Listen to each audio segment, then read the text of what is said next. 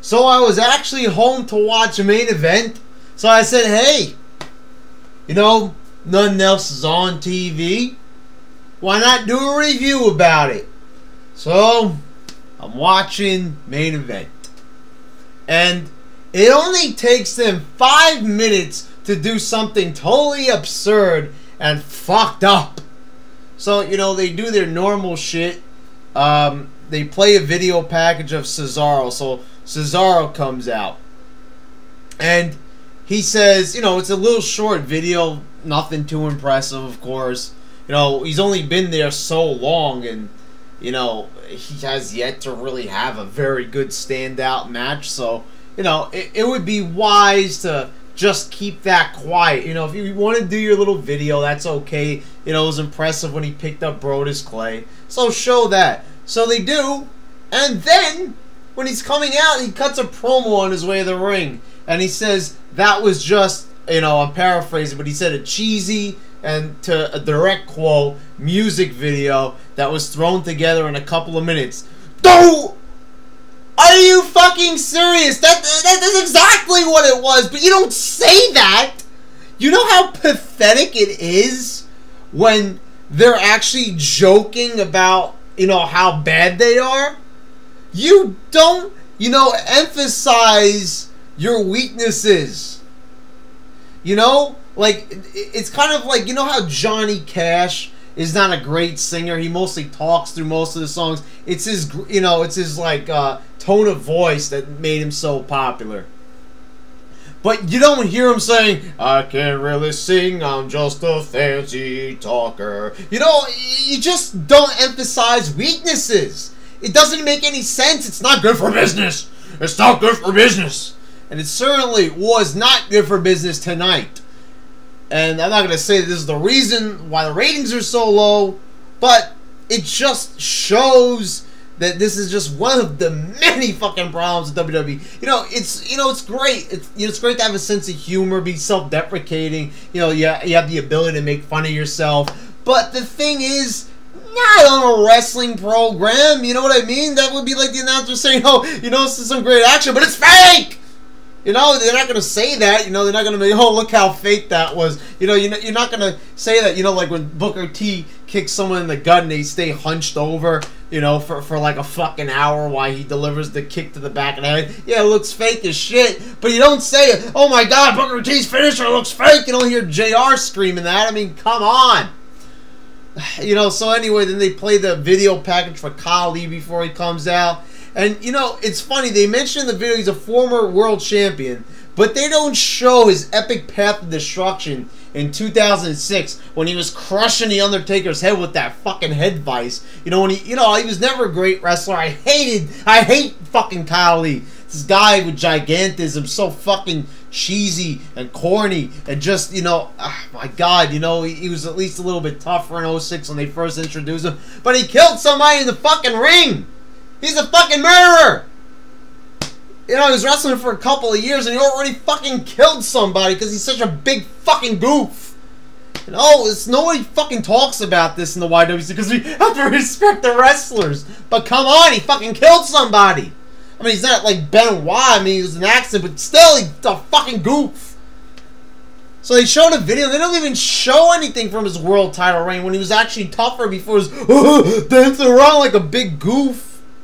I, I mean, it's just like so totally unbelievable. I mean, no one's gonna find that man attractive. So why are they making like a piece of ass like Natalya? I'm saying like Natalya's like super hot, but she's pretty good. I'd fuck her. Yeah, you know what? I'd give her the D. But the thing is, you know, um, no one's gonna find him attractive, and this just makes Natalya look bad. And to top it all off, they do a little promo where you know she's asking him questions. Oh, did you carve up? Oh, you know, did, did you do this? Did you do that? And, and Hornswoggle's answering for him because he can barely talk because of the gigantism and, and, and, shit like that. You know, and, and then you know he can barely understand what he's saying when he cuts them off and Natalya. They forced Natalya to say that she that Khali reminds her the, uh, uh, of uh, fucking Bret Hart. Are you serious? Did they really say Bret Hart and Khali's name in the same sentence? What the fuck is wrong with them? Bret Hart, one of the greatest wrestlers of all time. Great Khali, one of the shittiest fucking wrestlers of all time. And then You put their names together in the same sentence? Why don't this Vince McMahon just blow his fucking brains out? Right now, if he's going to do that fucking comparison, that you're not going to get Khali over that way. I, I mean, maybe you're gonna fool some fucking half retarded ass children out there, PG era fucking marks, PG motherfuckers, but you know what? You ain't gonna fool me. You know, oh yeah, can you just imagine me sitting there? Uh, Natasha said, oh, yeah, WWE said it, so it must be true. I know there's actually gonna be a couple of people gonna say, you know what? Oh, you know, come on, Bret. You know, Khali's not that bad. I guess maybe he's the Bret Hart of the big men. Shut the fuck up if you're gonna say shit like that. And you know what? You know, you might say, where are you getting that obscure, you know, uh, statement from? People have said it in the comment board. Shit like that. They like to twist words around to make WWE look good. Oh, there's an explanation for everything. You know what? Well, what's the explanation that they got a two point fucking two? Fuck you. Yeah, anyway, so the match is on and it's boring as fucking shit. He's working the leg. What else could he fucking do? I mean, eh, there's only so much you can do to Khali. He's just a big fucking goof. You know, Cesaro's lucky that he got out of there alive, you know, because I remember a couple of years ago, one guy did. So, you know, he's lucky that he fucking got out of there with his fucking health. And this shit is not working. They've really toned down his style from ROH. You know, back when he was the fucking, um, what the hell was his name? Uh, Claudio Castagnoli. I almost forgot for a minute.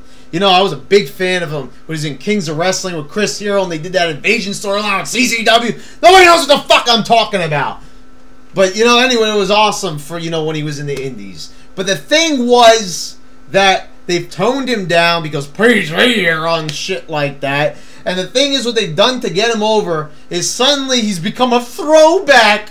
Oh, he's a throwback. So they they take off his fucking elbow pads. They put some weird looking thigh pads on him that he uses in rugby. Uh, like, and, and all of a sudden he starts sleeping on the fucking floor like a goddamn weirdo. Who the fuck sleeps on the goddamn floor?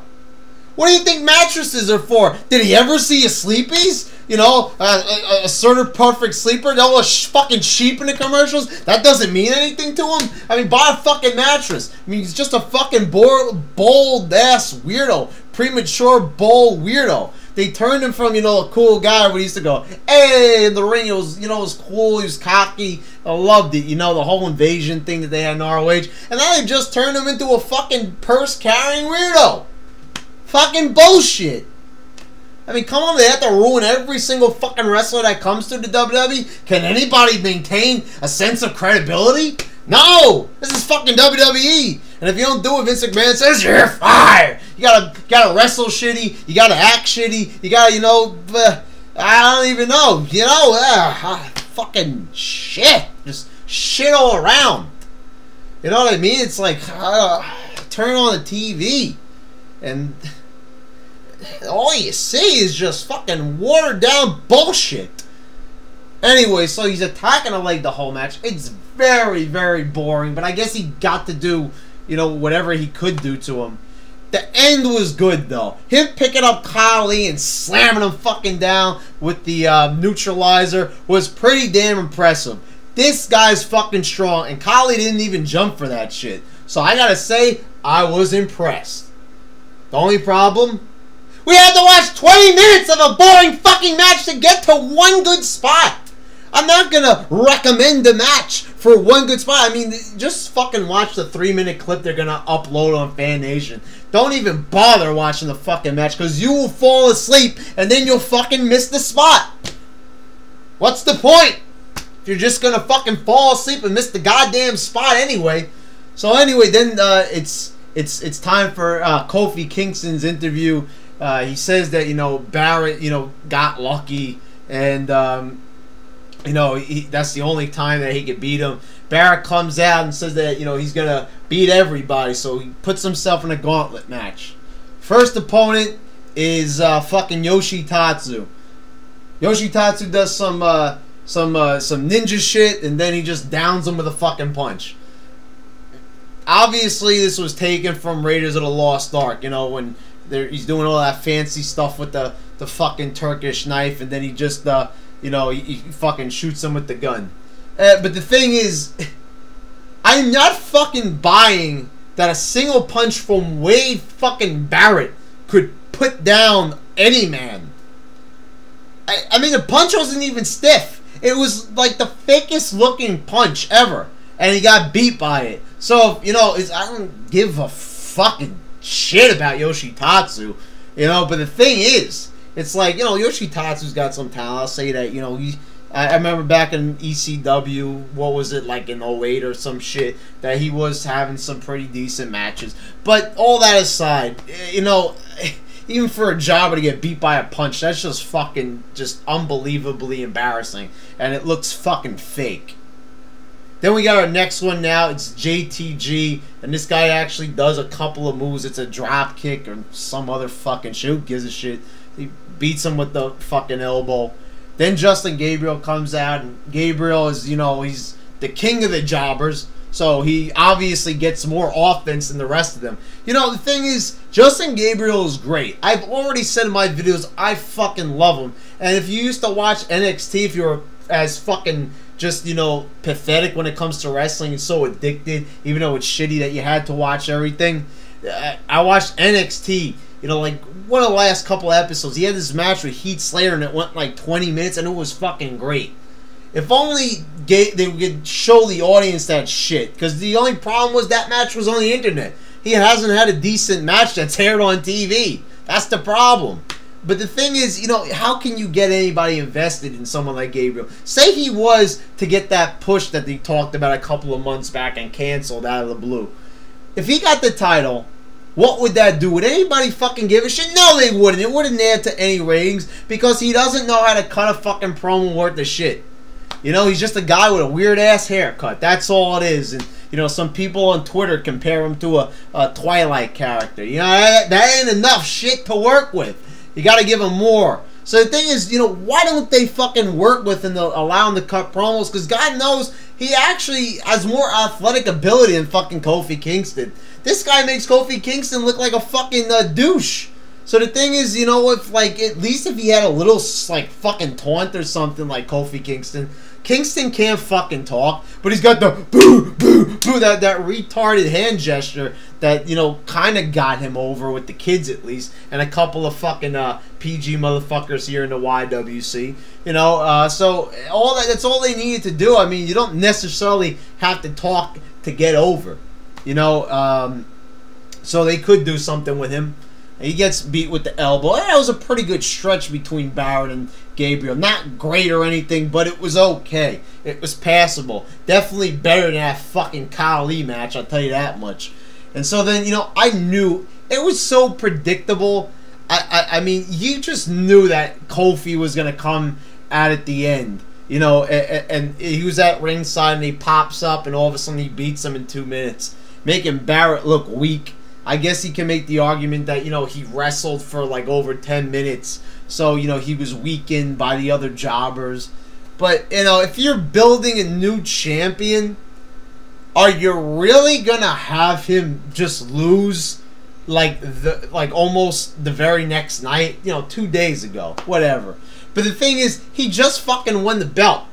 So you're gonna fucking job him out already? I don't give two shits about Wade Barrett. I think he fucking sucks. The gimmick's not working. But holy fucking shit, you're gonna job him out already? He just won the fucking belt. Can he have some credibility at least? I mean, come on. I mean, you know, just like run with it. A, a, little bit. You know, whenever they, they, they never want to commit to anything. They just gotta, you know, it's a shitty idea to give, give Barrett the title. You know, but, but uh, I mean, if you're gonna do something, at least commit to it. You have him with this whole fucking thing. They talk about during the match that, you know, you slashed in the back. They show you the scar for the first time. I didn't even notice that shit. You know, that is pretty tough. But do you think that maybe, you know, they're talking about, like, how he's a real fire and, and everything. They don't, he's so constricted in the ring. And, you know, they, they just have him, like, lose. Uh, they don't even give him any credibility. Why not let him have some credibility by letting him do a couple of violent shit. If he were to hit somebody in the head with a chair for the first time in fucking years, maybe people might give a shit about Wade Barrett. But they're too fucking pussy to take any ideas like that and put them into practice. Holy fucking shit. You know, like, there was some moments that I enjoyed during this show, but for the most part, it fucking sucked. I mean, what a horrible ass show this is. I don't even know why I bother watching. It's not really even consequential to the rest of uh, fucking WWE. They, they mention it for like two seconds on Raw, and that's about it. It's the fucking C show. You, I never thought that anything could get lower than SmackDown. This shit's like just a little bit above Superstars it's actually on fucking TV. But uh, it shouldn't be on fucking TV. Why the fuck? I keep saying this so every time I review this shit. Why they need another fucking show when their other two shows suck dick? And then their pay per views suck even more dick. I mean, holy fucking shit. I mean, why overexpose WWE if they've already been exposed as being fucking shitty? I mean, holy crap. That's like a, you know, that, that's like exposing a girl with really, like, with a flat chest. You know, no one wants to see that. You know, what's the point of all that overexposure if you ain't gonna get the goods? You know what I mean? Yeah.